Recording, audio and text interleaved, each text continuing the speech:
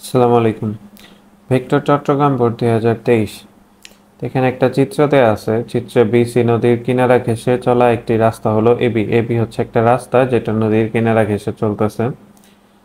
নদীতে স্রোতের বেগ দেওয়া আছে টু মিটার পার সেকেন্ড এবং একজন মাঝি ফোর মিটার পার সেকেন্ড বেগে নৌকা চালাচ্ছেন। রাস্তায় গাড়ির বেগ পনেরো মিটার পার সেকেন্ড গাড়ি বি অবস্থান চল্লিশ সেকেন্ড যাত্রা বিরতি দেয়। গাড়ি বি অবস্থানে আসার পর এখানে চল্লিশ সেকেন্ড যাত্রা বিরতি দেয়। আর এখানে হচ্ছে সি বিন্দু থেকে নৌকাটা যাত্রা শুরু করে। গ নাম্বার, মাঝি সর্বনিম্ন কত সময় নদী পাড়ি দিতে পারবে? সর্বনিম্ন কত সময়ে নদী পাড়ি দিতে পারবে? সর্বনিম্ন সময়ে যদি নদী পাড়ি দিতে চায়, তাহলে অবশ্যই মাঝিকে সোজাসুজি অপর প্রান্ত বরাবর যাত্রা শুরু করতে হবে। তো আমরা জানি যে কোনো একটা নৌকা যদি নদীর প্রস্থ বরাবর সোজাসুজি যাত্রা শুরু করে, তাহলে সে দ্রুত নদী অপর প্রান্তে পৌঁছায়। তাহলে এই ক্ষেত্রেও সোজাসুজি নদীটা পাড়ি দিতে হবে। তো এই ক্ষেত্রে কতটুকু সময় লাগে সেটা আমাদের বের করতে হবে।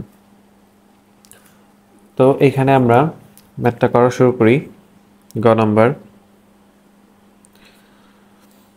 যেহেতু বি সি সি থেকে বি বিন্দু বরাবর যাত্রা শুরু করতে হবে, তাহলে এই ক্ষেত্রে ঘটনাটা কেমন ঘটবে?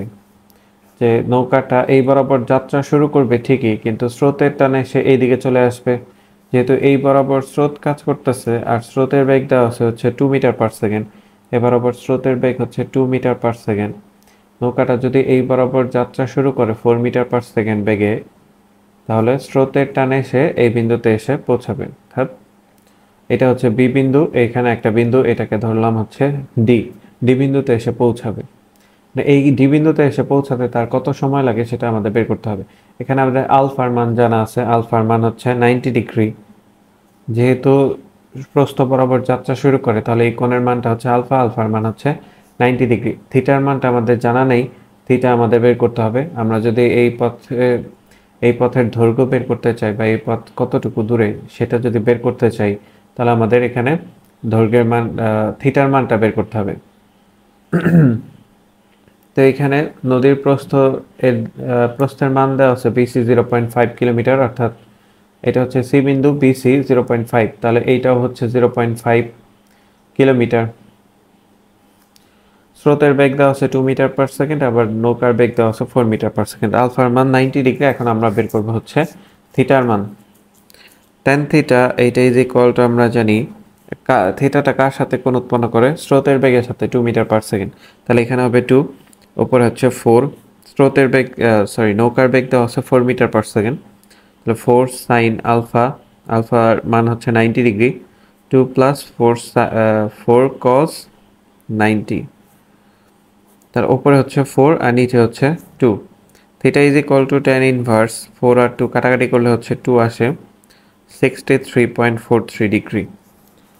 এই কোণের মানটা হচ্ছে থিটার মান sixty three point four three degree. তা এখন আমরা হচ্ছে সিডি এর দৈর্ঘ্যটা বের করতে পারব।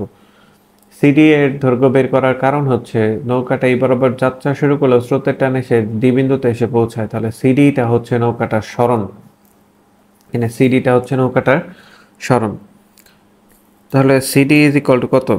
এটা বের করার জন্য আমরা কি করতে পারি? Sine theta is equal to লম্ব বাই অতিভুজ। তো এখানে লম্ব হচ্ছে D zero point five kilometre, এটা হচ্ছে লম্ব আর অতিভুজ হচ্ছে সিডি। তো জিরো পয়েন্ট ফাইভ কিলোমিটার আমরা পাঁচশো মিটার লিখতে পারি। আর নিচে হচ্ছে সিডি তাহলে CD is equal to sine sorry five hundred divide হচ্ছে সাইন থিটার মান পেয়েছি sixty three point four three degree যদি ক্যালকুলেশন করি, পাঁচশো ভাগ sine sixty three point four three পাঁচশো উনষাট দশমিক শূন্য চার। পাঁচশো উনষাট দশমিক শূন্য চার মিটার। এটা হচ্ছে নৌকাটার অতিক্রান্ত স্মরণ। স্মরণের মান পেলাম সিডি এর মান হচ্ছে পাঁচশো উনষাট দশমিক শূন্য চার। স্মরণ পেয়েছি, এখন আমাদের এই বরাবর নৌকাটার লব্ধি বেগ কত সেটা বের করতে হবে। নৌকাটা তো এই বরাবর চার মিটার পার সেকেন্ড বেগে যাত্রা শুরু করে, কিন্তু স্রোতের টানে তো সে ডিবিন্দুতে এসে পৌঁছায়। তাহলে এই বরাবর নৌকাটার লব্ধি বেগ আমাদের সময় বের করতে হবে যেহেতু সময় T is equal to S by V এই সূত্রটা আমরা জানি। V is equal S is equal to V T থেকে T is equal to S by V S এর মান আমরা বের করে ফেললাম পাঁচশো ষাট দশমিক শূন্য চার। এখন বেগ ভি এর মান বের করার পালা।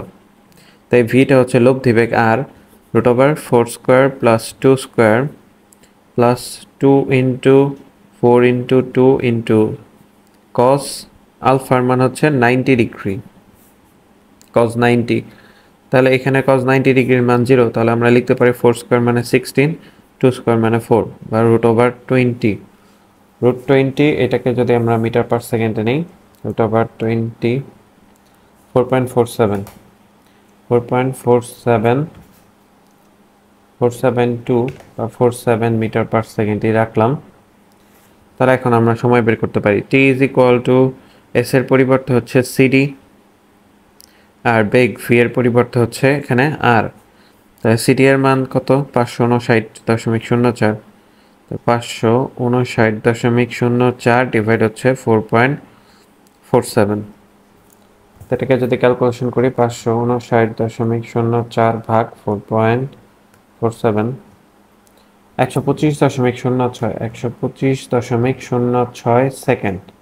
যদি মিনিটে নেই, তাহলে ভাগ হচ্ছে sixty two point zero eight four four two point zero eight four four minute এটা হচ্ছে গ নাম্বারটা, শেষ হলো।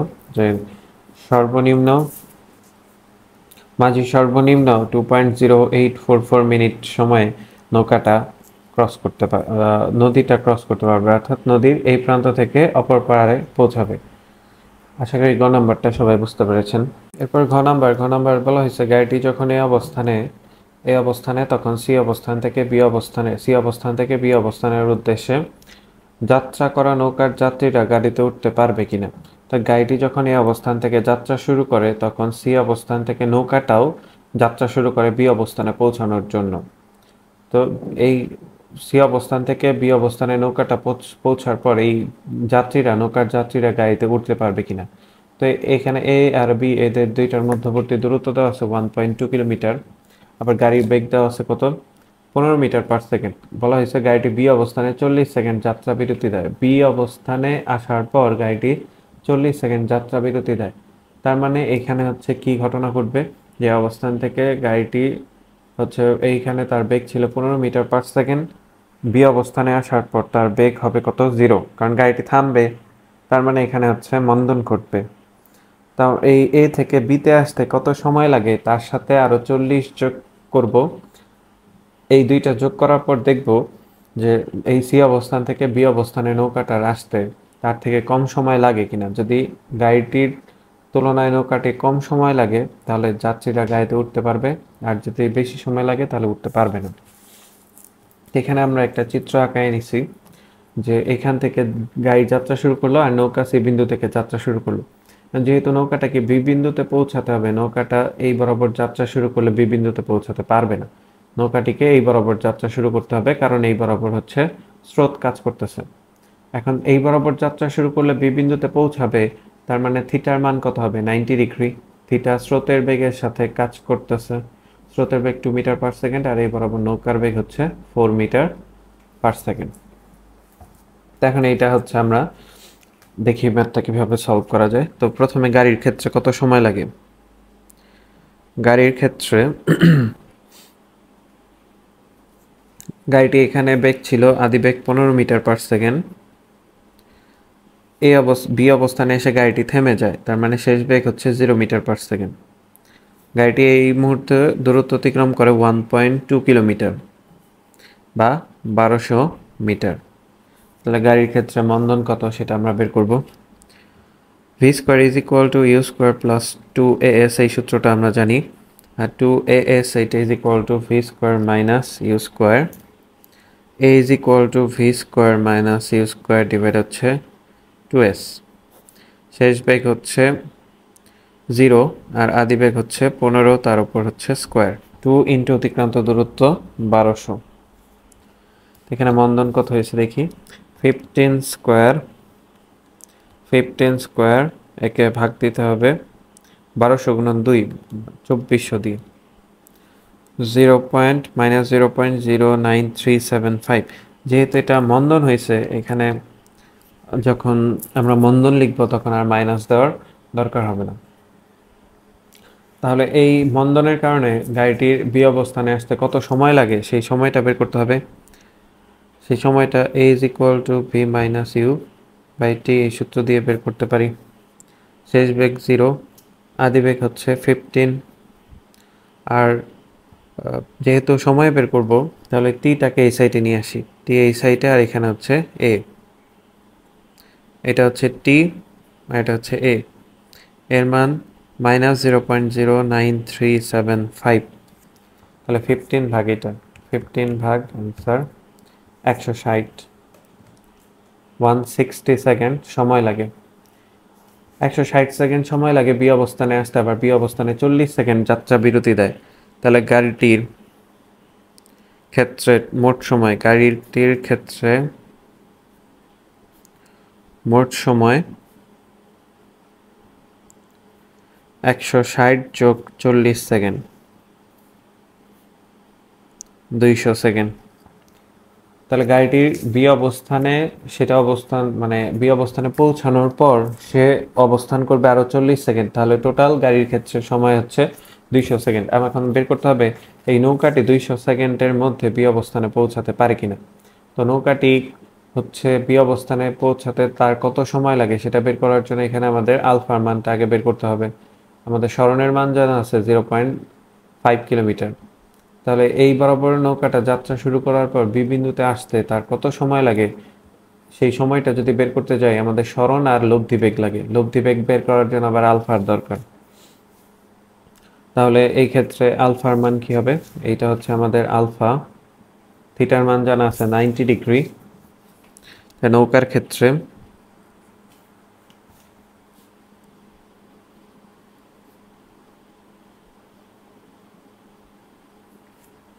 টেন থিটা এইটা ইজ ইকুয়াল টু কার সাপেক্ষে কোন উৎপন্ন করে স্রোতের বেগ? তাহলে এখানে টু উপরে four sine alpha two plus four cos alpha tan nine tan theta থিটার মান হচ্ছে নাইনটি ডিগ্রি টেন নাইনটি ডিগ্রির মান হচ্ছে অসংজ্ঞায়িত মানে one by zero four sine alpha two plus four cos alpha এই two plus four cos alpha ওয়ানের সাথে গুণ হয়ে two plus four cos alpha আর এই জিরোর সাথে ফোর সাইন আলফা গুণ হয়ে জিরো তো এখানে ফোর কজ আলফা, এইটা is equal to minus two alpha is equal to cos inverse minus two by four তাহলে আলফা ইজ ইকুয়াল টু কাটাকাটি করলে হাফ কজ মাই একশো বিশ ডিগ্রির মান হচ্ছে মাইনাস হাফ তাহলে আলফার মান হচ্ছে একশো বিশ ডিগ্রি।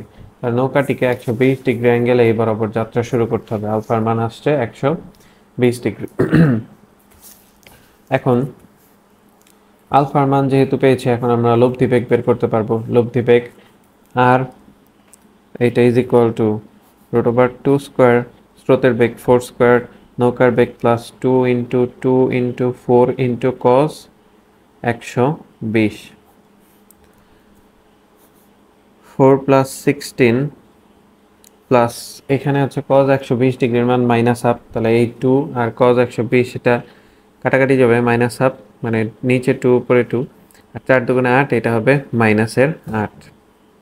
ষোলো থেকে আট বাদ দিলে আট আট চার যোগ করলে বারো, তাহলে root over twelve root twelve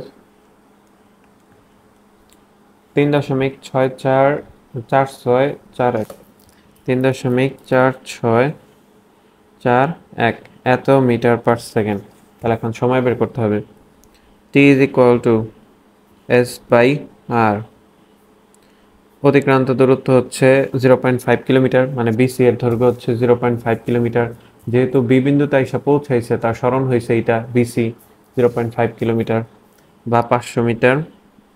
আর আর এর মান হচ্ছে লব্ধিবেগ three point one four six four one okay পাঁচশো ভাগ অ্যান্সার, একশো চুয়াল্লিশ দশমিক তিন তিন সেকেন্ড, একশো চুয়াল্লিশ দশমিক তিন তিন সেকেন্ড। তাহলে নৌকার যাত্রীদের ক্ষেত্রে সময় লাগে একশো চুয়াল্লিশ দশমিক তিন তিন সেকেন্ড। সুতরাং আমরা বলতে পারি নৌকার যাত্রীরা বাসে উঠতে পারবে। কারণ বাসের ক্ষেত্রে সময় লাগছিল দুইশো সেকেন্ড। নৌকার ক্ষেত্রে সময় লাগে একশো চুয়াল্লিশ দশমিক তিন তিন সেকেন্ড। নৌকার যাত্রীরা বাসে উঠতে পারবে। আশা করি ম্যাথটা সবাই বুঝতে পারছেন। ভালো লাগলে অবশ্যই লাইক শেয়ার সাবস্ক্রাইব করবেন। আর যদি কোনো সমস্যা থাকে, অবশ্যই কমেন্ট করে জানাবেন। আল্লাহ হাফেজ।